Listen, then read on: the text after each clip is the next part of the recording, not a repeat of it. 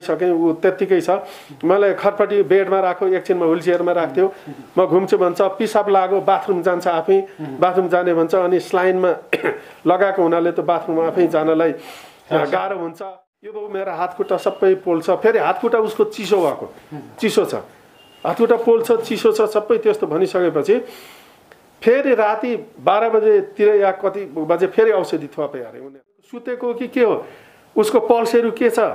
सेचुरेसनहरू सबै हेर्नुहोस्। उसको प्रेसर के छ? हेर्नुहोस् भनेर लगाउँदाखेरि आएर उनीहरूले के लगाउँछन्? सबै ठिक छ सर? सबै ठिक छ भन्छन्। सबै ठिक छ भनेर जान्छन् उनीहरू। अहिले बिरामीको हालत? भनेर हामी त्यो गरिसकेपछि त मलाई अब सक भयो बिरामी त्यस्तो अवस्था। अनि उनीहरू आइसकेपछि हान्दा छैन। नाडी पनि छैन। प्रेसर उसको केही छैन। धड्कन पनि छैन। आएर अनि त्यसलाई प्रेसर दिएर त्यसलाई ब्रिदिङको लागि उ गराउने प्रयास गर्ने प्रेसर दिने त्यस्तो काम गर्न थाले उनीहरूले। त्यो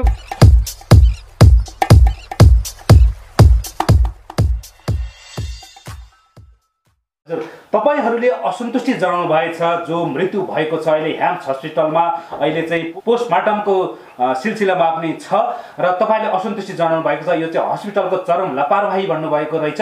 खास केमा असन्तुष्टि के भएको अलिकति डिटेलली बताइदिनुहोस् न। एकदम सत्य तथ्य हस्पिटलको लापरवाही र समयमा उपचार नभएरै मेरो भतिजको ज्यान हस्पिटलले लियो। एक किसिममा हस्पिटलले त्यो ज्यान लिएकोमा यो जानी जानी उस उसलाई चाहिँ त्यो मृत्युशय्यामा पुर्याइदियो हस्पिटलले। तपाईँको भतिज हुनुहुन्छ र उहाँलाई के बिरामी थियो र कुन मेडिकल टेस्टको लागि चाहिँ हस्पिटल लगिएको थियो? ऊ यस्तो छ ऊ अहिले हाल अब छतर गाविस फाक्चामारामा ऊ नेपाल सरकारको कर्मचारी पनि हो। हजुर। त्यहाँ कार्यरत थियो। हजुर। अब उसले चाहिँ पहिला तेह्रथुम जीविसमा कार्यरत थियो। उसले बाबुआमा धेरै बुढाबुढी भए बाबुआमाको पनि सेवा गरौँ भनेर गत वर्ष दुई वर्ष डेढ वर्षदेखि ऊ चाहिँ त्यहाँ सरुवा भएर ऊ छतर गाविसमा कार्यरत थियो र त्यहाँ गाविसको कुनै अब त्यहाँ कार्यरत भएको सिलसिलामा उसले आफ्नो अफिसियली अथवा अरू कामको सिलसिलामा ऊ काठमाडौँ आइपुग्यो सोमबार। सोमबार काठमाडौँ आइपुगेर उसले आफ्नो काम गर्यो। स्वस्थ मान्छे। हिँडुल गरिराखेको खाइपिएको बोलीचाली सबै भएको उसलाई त्यो बिरामीको कुनै फिलिङ छैन। उसले आफ्नो काम गर्यो। सोमबार काम गर्यो।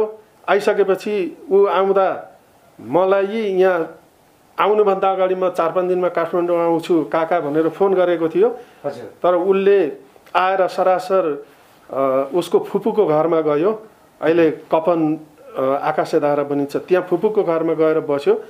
बसिसकेपछि उसले किन त्यहाँ गएको भन्दाखेरि जब म अलि अस्वस्थ म चाहिँ एकदमै यो अहिलेको कोभिडको उसमा एकदम सुरक्षित बसिराखेको छ। मलाई घुमाउन कहीँ पुर्याउन यातायातको साधनमा सजिलो हुन्छ भनेर ऊ फुपूको घरमा गएर बसेको थियो। र फुपूको छोराले काममा उसलाई लगिदियो ल्याइदियो बेलुका आयो घर आयो खानपिन गरे सुत्यो अरे। अनि भोलिपल्ट उनीहरूले सरसल्लाह भोलिपल्ट पनि काम गऱ्यो उसले काम गरिसकेपछि मलाई यहाँ फोन गर काका मैले सामान्य काठमाडौँ आएँ कामको सिलसिलामा मेरो काम सकियो। म चाहिँ अब यसो सामान्य मलाई ग्यास्ट्रिकको कहिलेकाहीँ प्रब्लम हुन्थ्यो।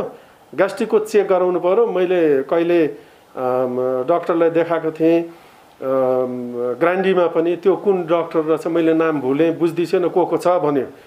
मैले ग्रान्डीमा फोन गरेर को को हो ग्यास्ट्रोलोजिस्टहरू भनेर सोद्धाखेरि विवेक शर्मा भन्दाखेरि उसलाई मैले सुनाएँ। विवेक शर्मा हुनुहुँदो रहेछ भने ए मैले थाहा पाएँ अहिले मैले चिनेँ मैले बिर्सेको रहेछु अब पछि म सम्पर्क गर्छु म भर्सक हजुर भाइठामा आएर म कुरा गर्छु। अब त्यहाँ देखाउने भनौँ। कि म नाम लेखाइदिउँ कि भन्दा होइन म आफै आउँछु भनौँ। त्यति भइसकेपछि उसलाई त्यस दिन अलि निन्द्रा भएन छ। निन्द्रा नभएको कारणले अनि उसको फुपूको छोरा दाईले होइन यहीँ नजिकै पनि छ। यहीँ टेस्ट गराउँ न त जाउँ देखाउँ। अब चिनजानको डक्टर पनि छ एकजना भनेर हेल्पिङ ह्यान्ड गएछन्। हेल्पिङ ह्यान्डमा डक्टरलाई देखाए ग्यास्ट्रोलोजिस्टलाई देखाए। देखाइसकेपछि उहाँले टेस्ट गरेर विभिन्न अब ब्लड टेस्टहरूका ऊ गर्न लगाउनु भयो त्यो टेस्ट गरे। टेस्ट गरिसकेपछि त्यसको उनीहरू घर आयो भरे टेस्ट रिपोर्ट आयो। ब्लड रिपोर्ट आइसकेपछि उनीहरूले के हेर्दाखेरि सबै रिपोर्ट ठिक छ डाक्टर साहबलाई त्यो सोधे। रिपोर्ट सबै ठिक छ राम्रै छ। यो सामान्य त्यस्तो केही पनि छैन। तर एकचोटि फेरि तपाईँले इन्डोस्कोपी गरेर पो हेर्ने हो कि? भनेपछि उनीहरू घर आए घर खानासाना खाइसकेपछि अब इन्डोस्कोपी गर्ने उ गर्ने भने यी नजिकै छ हेम्समै जाउँ। हेम्समै जाउँ भनेर हेम्समा पनि सुनेकै डाक्टर हो भने आएर प्राय जसो हामी हेम्सलाई विश्वास गर्दा हाम्रो फ्यामिलीहरू सबैजना नै हाम्रा पर्सनल डक्टरहरू कुनै हुन्थे उहाँलाई चाहिँ हामीले देखाएको थिएन। अरू डक्टरहरूलाई हामी हेल्म हेम्समै देखाउने गर्थ्यौँ। त्यो विश्वास र सजिलै उपचार हुन्छ राम्रो हुन्छ भन्ने आधारमा ऊ गए हेम्समा हेम्समा डक्टरलाई देखाइसकेपछि उसले रिपोर्ट त अगाडि अघिल्लो दिनकै थियो हेऱ्यो। रिपोर्ट हेरिसकेपछि ल ठिकै छ तपाईँको इन्डोस्कोपी गर्नुपर्छ। उसले हेम्सले बिहिबार देखाए इन्डोस्कोपी गर्नुपर्छ भनेर शुक्रबार बोलायो शुक्र शुक्रबार बोलाइसकेपछि दस बजीपछि उनीहरू गए। दस बजीपछि अनि मैले फोन गरेँ त त आइनस् त। किन भनेर मैले फोन गरेँ? होइन हामी यहाँ देखाउँदैछौँ इन्डोस्कोपी गर्ने यतै कुरा भयो। भनेपछि ल म आउँछु भने। म गएँ। म जाँदाखेरि डक्टरले इन्डोस्कोपी गरिसकेर हात धुँदै अवस्थामा म पुगेँ त्यहाँ। अनि गरिसकेपछि के हो? हेम्स हस्पिटलमा। हेम्स हस्पिटलमा। अनि के हो डाक्टर साहब यो के छ भनेको? होइन उहाँको अल्सर रहेछ डायग्नोसिस भयो अल्सर रहेछ। अब त्यसलाई चाहिँ हामीले उपचार गर्न अहिलेको प्रविधिमा त्यस्तो डराउनु पर्दैन। त्यसलाई इन्जेक्सन दिएर घाउ सुक्छ घाउ सुकाउनुपर्छ अ, अल्सरको घाउ छ त्यो इन्जेक्सन दिएर सुक्ने हुँदाखेरि तपाईँहरूले अलिकति घरमा लानुभयो बिरामी घरमै बस्यो भनेदेखि चाहिँ अब बिरामी त छैन हिँडडुल गरेर गएको हो। घरमै राख्नु भने इन्जेक्सनले अलि काम गरेन भने इन्जेक्सन थप्नुपर्ने हुँदा आउने जाने हुन्छ त्यसैले हस्पिटलाइज गर्नु भन्नुभयो। अनि हस् हामीले कुनै त्यस्तो अल्सर भन्नुभयो शङ्कास्पद कुनै रोग छ कि अल्सरमा कहिले क्यान्सर जोडिएको हुन्छ त्यस्तो कुनै हो कि अपरेसन गर्नुपर्ने केस हो कि भनेर सोध्यौँ त्यस्तो केही होइन अपरेसन पनि गर्नु पर्दैन क्यान्सर हुने त्यो केही पनि होइन। यो सामान्य हो सामान्य तरिकाले राम्रो हुन्छ औषधिले सुकाउँछ अहिलेको प्रविधिमा। हामी औषधि इन्जेक्सन दिन्छौँ तर तपाईँहरूले हस्पिटलाइज गर्नुहोस् भन्नुभयो। अनि हस्पिटलाइज गर्दा मैले सोधेँ पनि के आइसियुमै राख्नुपर्छ कि के त? भनेर सोद्धा होइन जेनरल तपाईँको सुविधा अनुसार जेनरल बेड क्याबिन जहाँ राखे पनि हुन्छ।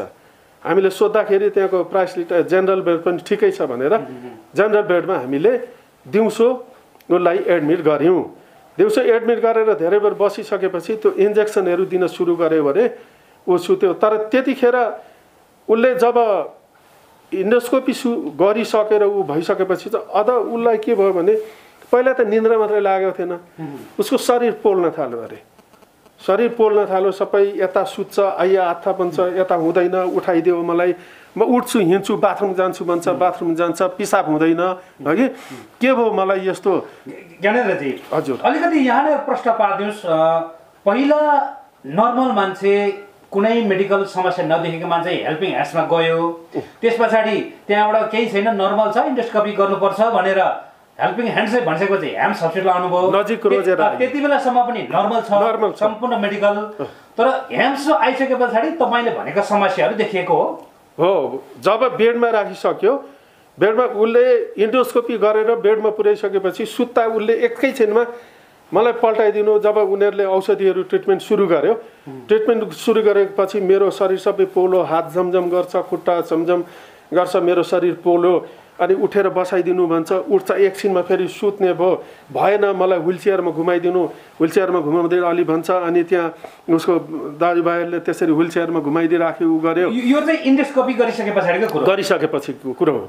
गरिसकेर बेडमा कुनै इन्जेक्सन लगाइयो कि अथवा कुनै मेडिकल खुवाइयो कि मेडिसिन खुवाइयो कि के छ त्यहाँ चाहिँ? इन्डेक्स त्यतिखेर त अब औषधिहरू त गरेरै गऱ्यो होला नि त। इन्डोस्कोपी गर्न त इन्जेक्सन केही दिएरै गऱ्यो। म त्यो पछि पुगेको थिएँ। मेरो भान्जा थियो त्यहाँ जोसँग जसको घरमा ऊ बसेको थियो मेरो भान्जा ऊ फुपूको छोरमा ऊ साथमा थिए। त्यो सबै वृत्तान्तहरू उसलाई थाहा छ। तर इन्जेक्सनहरू लाएर उसले किनभने घाउ सुकाउने इन्जेक्सन दिने भन्दाखेरि मैले सुने अनुसार इन्जेक्सनहरू पनि दिएको छ। दिएको छ। इन्डोस्कोपी गर्दा इन्जेक्सन पनि दिएको।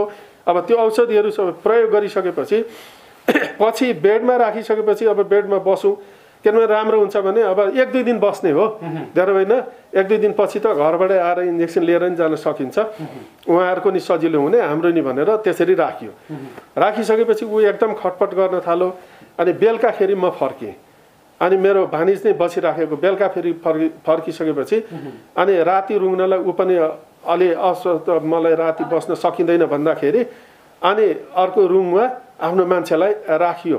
तर ऊ बाह्र बजीसम्म त्यहाँ बसेर भन्जेलले गर्यो खटपटी नै छ। अनि बेला बेलामा अब डक्टरहरू त त्यहाँ भएन। उनीहरूको नर्सहरूलाई होइन त्यहाँ भएको मेडिकल अफिसरलाई त्यो इन्फर्मेसन गइरहेको उनीहरूले आउँदै इन्जेक्सन दिँदै थप्दै गइराखेका छन्। स्लाइनमा दिएको छ। स्लाइनमा इन्जेक्सनहरू दिइराखेको छ। मैले यताबाट सोधेँ खटपट्टि त्यतिकै छ भन्छन् फोन गर्दा। राति निधाएन एक राति निधाएन। भोलिपल्ट बिहान अब शनिबारको दिन शनिबारको दिन म यहाँ खाना खाएर गएँ। अनि र रुङ्ने मान्छेहरूलाई सोध्यौँ निन्दाकै छैन। केही पनि ऊ यत्तिकै छटपटी छ। राति आठ नौचोटि त मैले हुइल चेयरमा घुमाइसकेँ। ऊ त्यत्तिकै छ। मलाई खटपट्टि बेडमा राख्यो एकछिनमा हुइल चेयरमा राख्थ्यो म घुम्छु भन्छ। पिसाब लाग्यो। बाथरुम जान्छ आफै। बाथरुम जाने भन्छ। अनि स्लाइनमा लगाएको हुनाले त बाथरुम आफै जानलाई गाह्रो हुन्छ भन्ने कुराबाट त्यो क्यान ल्याएर थाप्ने उ गरौँ अनि म गइसकेपछि पनि शनिबारको दिन त्यत्तिकै खटपटी छ मैले सम्झाएँ। अनि डक्टरहरू अघि आएर जानुभयो डक्टर भन्नुभयो के गर्नुभयो? भन्दाखेरि त्यतिखेर म पनि पुगेको थिइनँ।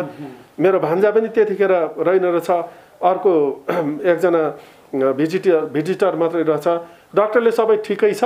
उहाँको भनाइअनुसार डक्टर डक्टरले सबै ठिकै छ? अनि एकछिनमा भान्जा आएर सोधेछ ठिक छ सबै कुरा? अब आजदेखि त्यो कम हुन्छ? नर्मल हुँदै जान्छ औषधिले काम गर्दै जान्छ ठिक छ भन्ने कुरा गरेर अनि हामी ढुक्क भयौँ। तर उसको खटपटी त्यतिकै छ। ऊ जाउलो खा खुवाउनु पर्छ जाउलो खान दिनु अर्थक नदिनु जाउलो खाइराखेको छ। फ्रुट जुसहरू बनाएर दिएको छ फ्रुट जुस खाइराखेको छ। पानी खाइराखेको छ तर जान्छ पिसाब हुँदैन। पिसाब एकरति देखिँदैन। अनि शनिबार म गइसकेपछि पनि अनि त्यहाँ भने मैले सबैलाई स्टाफहरूलाई अरूलाई यस्तो खटपटी राखेको छ औषधि दिएर राम्रो गर्न बेड राखेको हिजोदेखि राखेको खटपटिन्छ। के छ त? तपाईँहरूको उसको तपाईँले इन्डो इन्डोस्कोपी गरेर अल्सरको मात्रै अल्सरभन्दा अरू प्रब्लम छ कि? न्युरोको प्रब्लम छ कि? अथवा केहीको प्रब्लम छ? पिसाब एकदम ऊ मेरो पिसाबै गएन भन्छ पेट पोलिराखेको छ भन्छ। ब्लाडर पनि फुलेको छैन।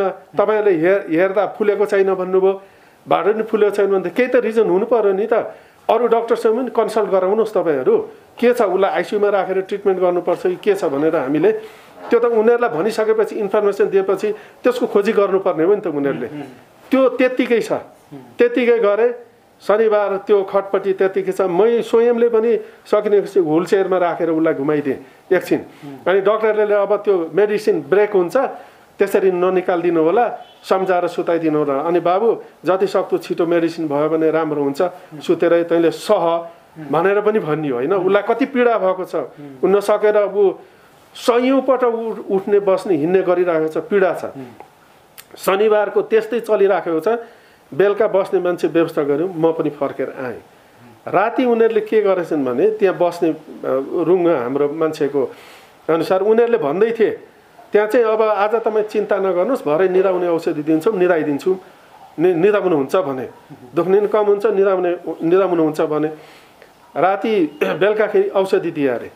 त्यसले उसलाई निन्द्रा आएन। पाँच दस मिनट यसो घुरे जस्तो भयो निन्द्रा आएन फेरि खटपट्टि त्यत्तिकै छ ऊ।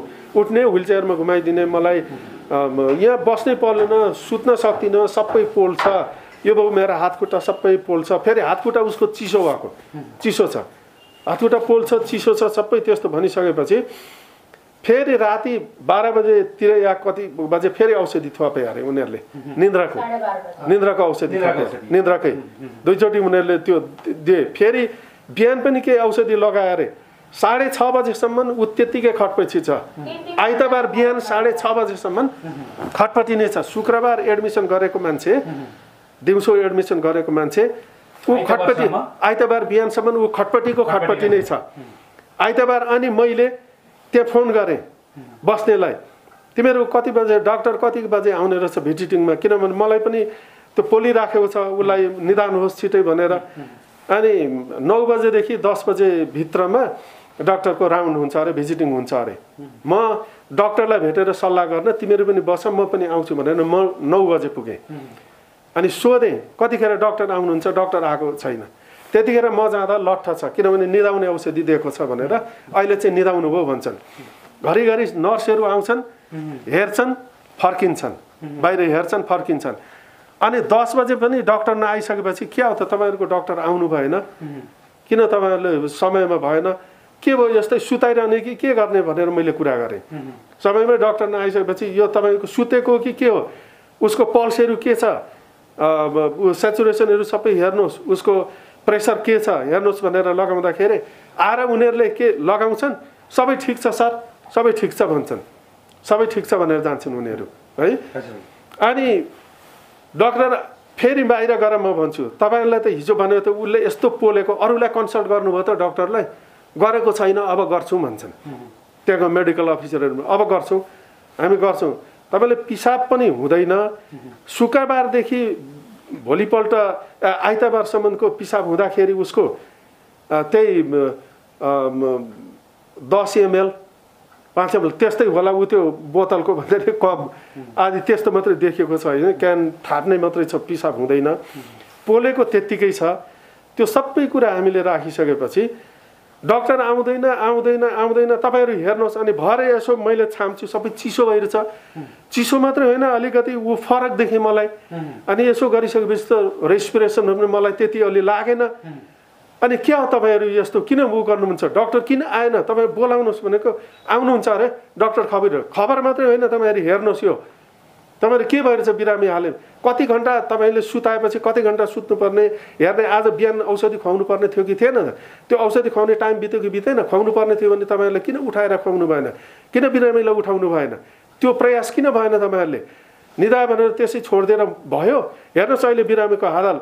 भनेर हामी त्यो गरिसकेपछि त मलाई अब सक भयो बिरामी त्यस्तो अवस्था। अनि उनीहरू आइसकेपछि हान्दा छैन नाडी पनि छैन प्रेसर उसको केही छैन धड्कन पनि छैन। त्यो केही नचल्ने भयो। केही नचल्ने भइसकेपछि उनीहरू सबै आतिर तीको टिम बोलाउने। आएर अनि त्यसलाई प्रेसर दिएर त्यसलाई ब्रिदिङको लागि उ प्रयास गर्ने प्रेसर दिने त्यस्तो काम गर्न थाले उनीहरूले। त्यो गरिसके त्यस्तो काम गर्दै गर्दाखेरि अनि के हो यो? तपाईँहरूले यस्तो टाइममा हुँदैन। खोइ डक्टर डक्टर बेलामा आएर हेरिदिएको भएदेखि त हाम्रो बिरामीलाई यस्तो हुने थिएन। तपाईँहरूले हस्पिटलाइज भएको समस्या भएपछि किन आइसियुमा राखेर ट्रिटमेन्ट गर्नु भएन? किन आइसियुमा राख्नु भएन? आइसियुमा राख्नु पर्थ्यो। भनेर त्यो सबै कुराहरू हामीले वृत्तान्त त्यहाँ बन्यौँ। हेर्दा हेर्दै हेर्दा हेर्दै त्यत्तिकै नेग्लिजेन्सले अब समयमा उपचार भएन उपचारको लापरवाही भयो त्यत्तिकै मेरो भतिजको ज्यान लगिदियो हस्पिटलले हेर्नुहोस्। त्यसपछि अब केही उपायचार छैन अनि उनीहरूले आइसियुको टिम बोलाएर अनि के भन्न लाग्यो भने आइसियुको डक्टर घर लास्टमा यो त हेर्नुहोस् हामीले धेरै प्रयास गऱ्यौँ भएन कार्डियाक एट्याक जस्तो। ए केही नभएको अहिलेसम्म प्रेसर नभएको कुनै नभएको मान्छेलाई कार्डियाक एट्याक त मान्छे मृत्यु भइसकेपछि त सबैको कार्डियाक एट्याक हुन्छ। मुटु नचलेपछि नै मर्छ सबै। त्यो त सबैमा हुने। त्यही अर्थ तपाईँले लाउनुहुन्छ। केही नभएको मान्छेलाई तपाईँहरूले यस्तो गर्नु तपाईँको डक्टर किन आएन बोलाउनुहोस्। त्यो भनेर डक्टर आइसकेपछि हामीलाई मृत्युको कारण दिनुहोस्। किन साधारण हिँड्दै डुल्दै खाँदै गरेको व्यक्ति केही नभएको व्यक्तिलाई केही हुँदैन भनेर तपाईँले इन्डोस्कोपी गरेर औषधिले घाउ सुक्छ एक दुई दिन हेरौँ भनेर बसाएको मान्छे बेडमा राखेको मान्छेको मृत्यु कसरी भयो? कि अपरेसन केस होइन? कि अपरेसन गरेर जटिल त्यस्तो हुनु पर्यो? त्यो छैन। उसलाई त्यस्तो छैन जब हस्पिटलाइज गरियो पोल्ने चिलाउने उसलाई खट्पै नसक्नु दुख्ने पोल्ने हात खुट्टा चिसो हुने झमझम हुने सबै त्यस्तो आइराखेको छ। यो रिजन तपाईँहरूलाई दिनुहोस् भन्दाखेरि उनीहरू नाजवाब छन् केही छैन। नाजवाब छन् दिँदैन। केही पनि दिँदैन। तपाईँहरूलाई चाहिँ के लाग्छ स्लिपिङ ट्याब्लेट बढी खुवाएर अथवा स्लिपिङ स्लिपिङ ट्याब्लेटको बढी डोज भएर अथवा अन्य इन्जेक्सन दिएर हस्पिटलको मेडिकल लापरवाही भएर के लाग्छ? के कारणले मृत्यु भयो जस्तो लाग्छ? होइन कारण हामीलाई एक औषधि समयमा गरेनन् औषधि गराए लापरवाही लापरवाहीमै कति दिनु पर्थ्यो त्यो पनि निन्द्रा लागेन भने एकचोटि दिए दिने हो कि फेरि थप्दै जाने हो कि त्यो देखेको गरेको भन्ने बस्नेले त्यहाँ रुङ्न बस्ने बिरामीको कुर्बाले त्यो कुराहरू भन्यो। त्यो दिनुपर्ने होइन जब पहिला शरीर जहाँ पनि पोल्ने केही थिएन भन्दै जब इन्डोस्कोपी गरिसकेपछि बस्न सकेन पोल्छ यता पनि दुख्छ उता पनि हुन्छ मेरो शरीर खप्न सकेन मलाई के गरिदिने मैले त खप्नै सकिनँ भन्छ भने त्यो किन पोल्यो त? त्यो औषधिको रियाक्सन अथवा त्यसको कुनै गलत औषधिले काम गर्ने भएर पनि हुनसक्छ होइन? त्यो मेडिकल टर्मको कुराहरू उनीहरूले भन्ने कुरा हो। तर हामीलाई लाग्दाखेरि सही औषधि पनि परेन होला ओभर औषधि पनि पर्यो होला होइन? समयमा लाप लापरवाही भयो समयमा उपचार भएन डक्टरले हेर्नुपर्ने समयमा हेरेन। बेडमा भएको मान्छेलाई कुनै समस्या हुन्थ्यो र बारम्बार उनीहरूलाई इन्फर्मेसन गरिराखेका छौँ हामीले त्यहाँको काउन्टरमा। इन्फर्मेसन गर्दाखेरि त हस्पिटलले साँच्चै बिरामीहरूको उपचार गर्ने हुन्थ्यो भने सम्बन्धित डक्टरहरूलाई जतिखेर पनि बोलाएर त्यहाँ स्ट्यान्ड बाई गराएर के हो भन्ने भन्न सक्नु पर्थ्यो देखाउनु पर्थ्यो। तर त्यो खालको गतिविधि केही पनि देखिएन। यो त गयो एकदम छोडिदियो हाम्रो एडमिसन भइराखेको छ आउने कुरा आइरहन्छ गर्ने बिरामी अब अब किनभने भर्ना भएको बिरामी त जटिल अवस्थामा भर्ना भएको होइन। इन्डोस्कोपी गरेर घाउ सुकाउनलाई भनेर राखेको। नर्मल बेडमै राखिएको थियो। नर्मल बेडमै राखेको। तर अहिले पछिल्लो समय उहाँको मृत्यु भइसके पछाडि तपाईँहरूले लास पनि जिम्मा लिनु भएको थिएन। यद्यपि अहिले चाहिँ पोस्टमार्टम हुँदैछ। अब चाहिँ के तपाईँले लास जिम्मा लिनु भएको हो? यसो हामीले हस्पिटल मार्फत हामीले अम, लासलाई लिएको होइन। हस्पिटलसँग हामीले कुनै पनि हस्पिटललाई हामीले त्यो भइसकेपछि उसले केही रिजन दिन सकेन भने मृतकको पक्ष र तपाईँहरूको पक्षबाट एउटा बोर्ड गठन गरौँ। भन्ने कुरामा उनीहरू सहमति भए। हस्पिटल। हस्पिटल। हामीले ल तपाईँहरूको प्रतिनिधि तिनजना हाम्रो प्रतिनिधि बस्ने भन्यो। तर त्यसमा मेनिपुलेट भयो। राखिसकेपछि के भन्यो थियो भने मेडिकल काउन्सिलबाट एउटा निष्पक्ष छानबिन आयोग गठन होस् भन्ने थियो? हाम्रो माग त्यो थियो। तर त्यो भएन। हस्पिटलले तुरुन्तै जब त्यो सहमति हुन्थ्यो भने त मेडिकल काउन्सिलमा जाँदा हाम्रो प्रतिनिधि लिएर जानु पर्थ्यो नि उसले आफूले चिठी बनाएर के चिठी बनायो त्यो लिएर गएर मेडिकल काउन्सिललाई दिएर मेडिकल काउन्सिलबाट तुरुन्तै चिठी बनाएर फेरि उसले लिएर आयो। ल्याउँदाखेरि अब हस्पिटलका कागजातहरू उपलब्ध गराउने अनि पोस्टमार्टमको रिपोर्ट उपलब्ध गराउने त्यस त्यो हेर्ने छानबिन गर्ने भन्ने त्यो हामीलाई चित्त बुझेन। मेडिकल काउन्सिलले बोर्ड गठन उनीहरूको प्रक्रिया चित्त बुझेन। उनीहरूले हामीलाई त्यो त्यहाँ बिचमा संलग्न गराएनन्। उनीहरू आफै मात्रै गए। त्यो चित्त नबुझिसकेपछि यो प्रक्रिया भएन भन्यौँ। अनि हामीले हाम्रो त्यसै दिन तपाईँहरूको हाम्रो बिरामीको हस्पिटलमा भर्ना भएदेखि तपाईँले उपचार गर्दाको उसको फाइलहरूको रेकर्ड तुरुन्तै त्यसलाई तपाईँहरूले प्रमाणित गरेर हामीलाई दिनुहोस् भनेको थियो। त्यस दिन हामीलाई दिएनन् उनीहरूले। फाइल दिएनन्। हिजो त्यो फाइल कुरा गर्दाखेरि उनीहरूले आफ्नो सबै अपडेट गरेर बनाएर त्यस्तो गरेको फाइल रहेछ। हेर्दाखेरि जबकि हाम्रो बिरामीलाई पिसाबै नहुने पिसाब भएको छैन भनेर तिन दिन त्यहाँ राख्दाखेरि जबकि दस एमएल जति पिसाब भएको थियो होला तिन दिन राख्दा भने त्यहाँ सात सय पचास एमएल पिसाब भएको भनेर उनीहरूले बनाइयो। रिपोर्ट बनाएका रहेछन्। त्यो सरासर फे। अनि हामीले भने तपाईँहरूसँग धर्म रहेन रहेछ। केही पनि रहन्छ। यो तपाईँहरूले बनाएको रिपोर्ट सबै पहिलाको लुकाएर नयाँ रिपोर्ट गर्नुभयो। तपाईँहरूले आफ्नो सुरक्षाको लागि गर्नुभयो। तपाईँसँग मानवीय धर्म रहेन रहेछ भनेर हामीले त्यो कुरालाई पनि इन्कार गरेर तपाईँहरूको केही छैन भनेर गऱ्यौँ अब हामीले उनीहरूसँग लिउन त्यसपछि हिजो हामीले जाहेरी दियौँ। हामीले प्रहरीमा? जाहेरी दियौँ। ज्यान जाहेरीमा हामीले ज्यान सम्बन्धी शीर्षक राखेर दिएका छौँ। शीर्षक जाहेरीको ज्यान सम्बन्धी। तपाईँहरूले जाहेरी दिँदाखेरि नेपाल प्रहरीको प्रतिक्रिया चाहिँ के रह्यो त नेपाल प्र प्रहरीले त्यहाँ दे दिँदाखेरि त हामीलाई सहयोग गरे जस्तो पनि देखियो तर त्यहाँको अब मानिसहरू हस्पिटलसँगको संलग्नता पनि हुन्छ उनीहरूको केही। तर जाहेरी गर्दाखेरि पहिला के कुरा भयो भनेदेखि ठिकै छ यो अनुसार हामी पोस्टमार्टम लेख्न पठाउँछौँ तर जाहेरी चाहिँ हामी बुझ्दैनौँ भन्ने कुरा भएको थियो। जाहेरी दर्ता नगर्ने भन्ने कुरा भएको थियो। किन दर्ता गर्नुहुन्न त? कारण के छ? यो किटानी जाहेरी त होइन हस्पिटलले भनेको छ हस्पिटलको चिकित्सकहरू त्यहाँ बस्ने नर्स चिकित्सकहरूले गरेको लापरवाही भनेपछि को को छ त्यतिखेर त्यो सबै पर्छ। किटानी होइन हस्पिटलले हाम्रो ज्यान लिदियो हाम्रो मान्छेको भनेर त्यति गर्दाखेरि तपाईँहरू किन लिनुहुन्न? जाहेरी पढ्नुहोस् यो त यो जाहेरीलाई तपाईँहरूले दर्ता नगर्ने हो भने दर्ता नगर्नुको कारण लेखिदिनुहोस्। ठिक छ हामी जान्छौँ। हुन सक्दैन। यो कारणले हुन सक्दैन भनेर लेख्नुहोस्। भनिसकेपछि पछि दर्ता भयो। दर्ता भयो। पछि दर्ता भयो। तपाईँहरूको जाहेरी दर्ता भइसके पछाडि प्रहरीले इन्भेस्टिगेसन सुरु गरेको हो?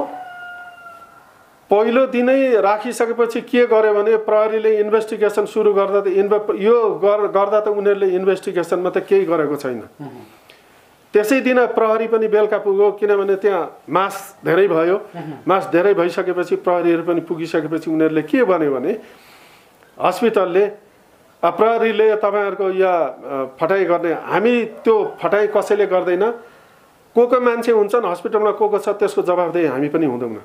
हाम्रो परिवारको जवाबदेही हुन्छौँ हामी। हाम्रो परिवारबाट हामी भद्र व्यवहार गर्ने भद्र कुरा गरेर मात्रै हामी हिँड्दैछौँ। त्योदेखि बाहेक हामीले गर्दैनौँ पनि गर्दैनौँ तर त्यो भद्र कुराहरूमा तपाईँहरूले ट्विस्ट गर्न पाउनुहुन्न। तपाईँहरूले त्यसलाई छलछाम गर्न पाउनुहुन्न। तपाईँहरूको त्यही अनुसारको हाम्रो भद्र कुरामा तपाईँहरूले पनि त्यो भद्रता देखाउनुपर्छ भनेर हामीले उनीहरूलाई त्यही कुराहरू गऱ्यौँ तर जाहेरी गरिसकेपछि त त्यो अघिल्लो दिन जब जुन दिन उनीहरूले मृत्यु भएको घोषणा गर्यो मृत्यु भयो भन्यो त्यसपछि बेलुका के भयो भनेदेखि प्रहरीले पनि भन्यो। अब उनीहरूले भन्यो अब यो शवलाई यी बेडमै राख्दाखेरि त भोलि अब प्रक्रिया गर्दाखेरि ढिलो होला के होला बिग्रिन्छ अर्को कुरा हाम्रो यो जेनरल बेडमा छ अरूहरूलाई हुन्छ हामीले क्याबिनमा सारिदिउँ भने। क्याबिनमा नसार्नुहोस् त्यहीँ राख्ने उसको श्रीमती आउँदैछ श्रीमती तेह्रथुममा थियो। भाइ फाक्सामारामै थियो। श्रीमती आउँदैछ भाइ आउँदैछ उनीहरूले हेर्छन्। त्यसपछि मात्रै अब यसलाई सुरक्षित गर्ने हामी जिम्मा लिँदैनौँ न तपाईँहरूकै काम हो। के गर्नुपर्छ? कहाँ राख्ने त्यो हामी जान्दैनौँ हामी भन्दैनौँ पनि भन्दाखेरि उनीहरूले भरे मर्चरीमा लगेछन् सबलाई। अब पर प्रहरीले त जाहेरी दिइसकेपछि त त्यो मर्चरीको मुचुल्का उठाए। त्यति मात्रै हो त्यहीँ हेर्ने हो। त्यो त्यो अवस्थामा तर मर्चरीको मुचुल्का उठायो भन्ने त्यो मैले अघि सुने। अघि मर्चरीमा भएको बेला मुचुल्का उठाइसकेपछि पोस्टमार्टममा पठायो। पोस्टमार्टम रिपोर्ट हुन्छ। अब त्यही आधारमा उसको अब दाह संस्कार गर्नलाई किनभने हस्पिटलबाट हामीले सब बुझेको होइन। प्रहरीले जाहेरी गरेपछि प्रहरीले लियो प्रहरीले गराइदिएको छ। अब हामीले सब दाह गर्नको लागि प्रहरीले दिन्छ होइन? त्यो आधारमा हुन्छ। तर हस्पिटलबाट हामीले कुनै पनि सहमति गरेर यो गर्ने ऊ गर्ने भनेर स हस्पिटलसँग हामीले सहमति गरेका छैनौँ। गर्दैनौँ र हस्पिटलले लापरवाहीले ज्यान लिएको छ र यसलाई यी हस्पिटललाई हिजो भन्यो हामीले। तपाईँहरूको के छ विचार त? यस्तो अवस्थामा के भन्यो? होइन कानुनी लडाइँ लड्ने। उसले सबै कुरा आफ्नो सुरक्षित गर्दा कानुनीमा के हुन्छ? त्यसै अनुसार जानुहोस् न त। तपाईँहरू। कानुनी हामी त्यही अनुसार गरौँ भने तपाईँहरूले त्यही रोज्नुभयो भने ठिकै छ भने अब हामीले त्यही कानुनी लडाइँ छ। अब त्यसमा तपाईँहरू मिडिया कर्मीहरू जस्तो सबैको सत्य तथ्य पत्ता लगाएर त्यसमा के गर्नुपर्ने हो हस्पिटललाई? कारवाही गर्नुपर्ने उनीहरूले गरेको अपराधको दण्ड सजाय भोगाउनु पर्ने त्यो कुराहरू तपाईँ हामी जस्तो तपाईँहरूको मिडियाहरूको पनि महत्त्वपूर्ण दायित्व हुन्छ त्यसैले अब अहिले पोस्टमार्टम रिपोर्टको क्रममा छ मृतकको अहिले भरे पोस्टमार्टम रिपोर्ट आइसकेपछि सत्य तथ्य के हो आउला नै। यदि हस्पिटलको लापरवाहीको कारण अर्थात् औषधिको ओभरडोज भएर अथवा गलत औषधि परेर बिरामीको मृत्यु भएको रहेछ भने तपाईँ कसरी अगाडि बढ्नुहुन्छ? र यदि बिरामीको आफ्नै कारणले बिरामीको मृत्यु भएको रहेछ भने तपाईँ कसरी अगाडि बढ्नुहुन्छ? यो दुईवटा प्रश्न मैले सोधेँ तपाईँलाई बिरामीको आफ्नै कारणले मृत्यु भएको र त्यस्तो मृत्यु हुने जटिल रोग केही बिरामीको होइन भन्ने कुरामा सयमा सय त्योभन्दा बढी हजारौँ प्रतिशत हामी ढुक्क छौँ। बिरामीको कारणले होइन। यो त्यति नै प्रतिशत हस्पिटलको लापरवाही र समयमा उपचार नगरेर त्यसको गलत औषधि प्रयोग गर्यो अथवा के गर्यो त्यो कारणले हस्पिटलको लापरवाहीले समयमा उपचार नपाएर मेरो भतिजको मेरो भतिजको मृत्यु भएको यदि त्यस्तै रहेछ भने तपाईँहरू कसरी अगाडि बढ्नुहुन्छ त कानुनी प्रक्रियामा अगाडि बढ्छु बढ्छौँ त यहाँले भन्नुभयो होइन? तपाईँहरूको विभिन्न माग होला माग दाबी होला क्षतिपूर्तिको कुरा होला। होइन हामीले कानुनी प्रक्रियामा अघि बढ्नको लागि अब यसमा हामीले पनि त्यो रिपोर्ट जब मेडिकल काउन्सिलमा उसले के रिपोर्ट पठाउँछ? मेडिकल काउन्सिलले जसले त्यहाँ गल्ती गरिराखेको छ त्यसैलाई रिपोर्ट पठा भनेर लगायो भने उसले कस्तो रिपोर्ट पठाउँछ कति हामी विश्वस्त हुने एउटा प्रश्न त्यो छ। अर्को कुरा उसले रिपोर्ट पठाइसकेपछि त्यसबाट रिपोर्टको अनुसन्धान गर्दाखेरि उसले के पाउँछ के रिजल्ट त्यो त हामीलाई सुनाउला नि त हामीलाई भन्ला नि त। त्यो भनिसकेपछि त्यसको आधारबाट के कदम चाल्नुपर्ने हो त्यो जान्छौँ। हामी त्यसको सिलसिलामा के गर्नुपर्ने हुन्छ अथवा हामीले कुनै समिति गठन गर्नु कुनै निष्पक्ष छानबिन समिति गठन गर्नुपर्ने कुराहरूमा हामीलाई जानकारी भएसम्म स्वास्थ्य मन्त्रालयमा त्यस्तो कमिटी गठन गर्न सक्ने व्यवस्था छ। हामी त्यहाँसम्म पनि पुग्छौँ। कानुनमा जस्टिस न्यायालयमा पनि त्यो सम्बन्धी कमिटी गठन गर्नुपर्ने प्रावधान छ। हामी त्यहाँसम्म पनि पुग्छौँ र जसले गल्ती गरेको छ त्यो गल्ती गर्नेलाई हामी सजाय दिएर छाड्ने सजाय दिलाउने तर्फमा हामी अघि बढ्छौँ।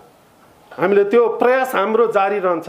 अहिले हस्पिटलले यहाँबाट सब गयो अब हामी ढुक्क हौँ भनेर जुन सोके सोचेको होला सोचेको होला अथवा कसै कसैलाई उसले हस्पिटलले हुनसक्छ त्यहाँ विभिन्न खालका मानिसहरूको जमघट हुँदा कसैले आफ्नो पावर सो देखाएर केही कुराहरू गरिदिएर हस्पिटलसँग मिलेर यो भयो भने यस्तो होला अब केही हुँदैन ढुक्क हुनुहोस् भन्ने आश्वासन दिएको छ भने पनि त्यो हस्पिटलले त्यो कुरा यति जानकारी रहोस् हस्पिटललाई कि यो कुरामा कानुनी कारवाही अघि बढाउनको लागि हामी कुनै पनि हालतमा। कुन कुन हामीले कुन कुन ठाउँमा जानुपर्ने हो त्यो हरेक ठाउँमा ती कदममा हामी अघि बढ्नेछौँ। हामी छोड्नेवाला छैनौँ। हस् समय र संवादको लागि यहाँलाई धेरै धेरै धन्यवाद। यहाँलाई पनि धन्यवाद।